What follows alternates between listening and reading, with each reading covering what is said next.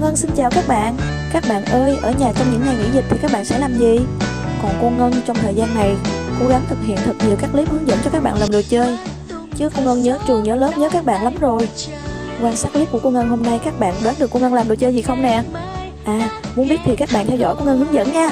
Để thực hiện được món đồ chơi này chúng mình cần có một ống giấy, keo dán, kéo Giấy vụn nhiều màu sắc, một miếng bìa cứng, một miếng bìa trong Thước kẻ, giấy gói quà và một miếng giấy gói quà có trắng bạc nữa nha.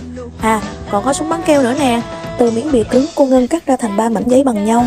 Chiều dài mảnh giấy ngắn hơn chiều dài ống giấy 3cm Còn chiều ngang thì tùy theo độ lớn hay nhỏ của ống giấy. Phần chia chiều ngang này các bạn nhờ ba mẹ giúp cho mình nè. Tiếp theo các bạn quan sát và thực hiện cùng cô nha.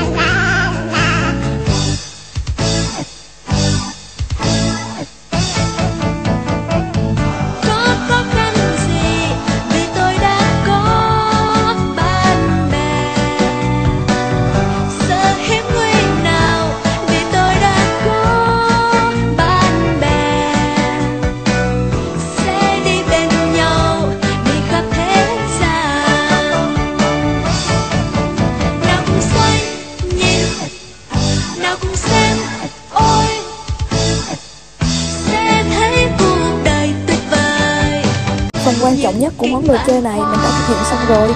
Giờ chỉ còn phần trang trí bên ngoài cho đồ chơi đẹp thêm nữa thôi. Các bạn ơi, món đồ chơi này nhiều công đoạn và đòi hỏi sự tỉ mỉ khéo léo Nên cô Ngân nghĩ là các bạn hãy rủ ba mẹ thực hiện cùng với mình nha. Đồ chơi thực hiện xong rồi nè. Bây giờ quan sát thành phẩm của chúng mình nha. Lấp lánh và thật nhiều màu sắc phải không các bạn? Đồ chơi này tuy là hơi khó nhằn một chút Nhưng kết quả thành phẩm cô Ngân đảm bảo là bạn nào cũng sẽ thích mê cho mà xem. Cô Ngân gọi đây là kính vạn hoa đó các bạn. Đẹp quá phải không nè? Cô Ngân chúc các bạn thực hiện thành công đồ chơi này và trải nghiệm thật vui với sản phẩm của mình làm nha.